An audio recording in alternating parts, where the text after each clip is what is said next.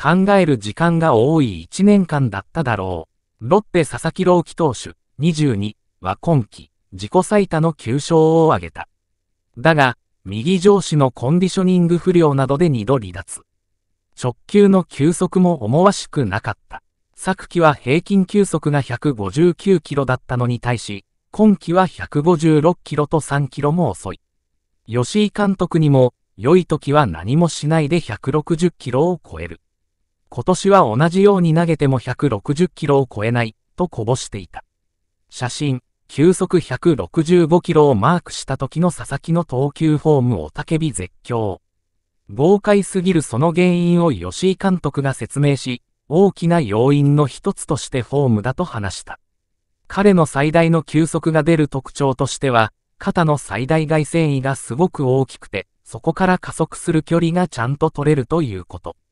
それであの、160キロ超えの球を投げられていた。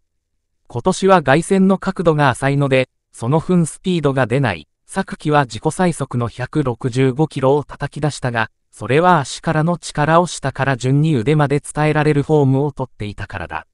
足からの力をうまく使えていれば、自然と上半身にねじれができ方を引くことができるためテイクバックも大きく取れる。指揮官は足からのパワーが伝わると、一緒に上半身が回ってる感じになって、外線が大きくなると身振り手振りを交えて詳しく説明した。ただ、今季の佐々木はそれが来ていないと監督は言う。修正には、一回、癖がついてしまっているのでなかなか。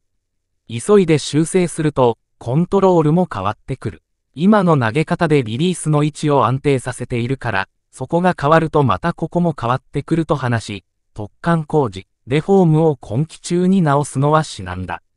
今季はスライダーの軌道も変わった。昨季はダルビッシュに教わった横に動くスライダーだったが、今季は縦に落ちる軌道が多い。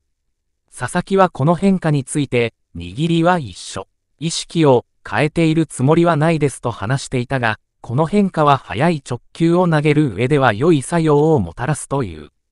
吉井監督は、勘違いをすると腕だけの力で投げる感じになるが、スライダーはあまり意識しないのでうまくタイミングがあって、下からのパワーが伝わる投げ方が自然にできることがある。ローが縦のスライダーを投げているときは、メカニズム的にはうまくいっている。知らず知らずのうちに直球を投げると、たまたまうまくいく。そこでもしコツをつかめば、フォームが元に戻る可能性がある。今季はスライダーを多く使っており、直球の調子が悪ければ途中でスライダーを軸に切り替える時もある。佐々木も去年よりうまく使えていると手応えを感じている。試合に勝つためにも直球の進化にもスライダーの存在は大きい。佐々木朗希といえば剛速球。指揮官は160キロ超えを連発していた昨年のフォームに戻るには、時間をかけてやるしかない、というが、まだ22歳の右腕に時間はたっぷりある。プロ2年目の2022年には20歳5ヶ月で完全試合を達成した才能あふれる若武者。納得のいく投球ができるようになった時には、どの舞台でも戦える剛腕となるだろう。